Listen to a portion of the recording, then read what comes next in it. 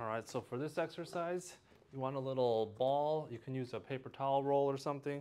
Put it between your knees, feet about 12 to 16 inches off the wall. You want to tuck your tailbone, keep the mid to low back in contact with the surface behind you.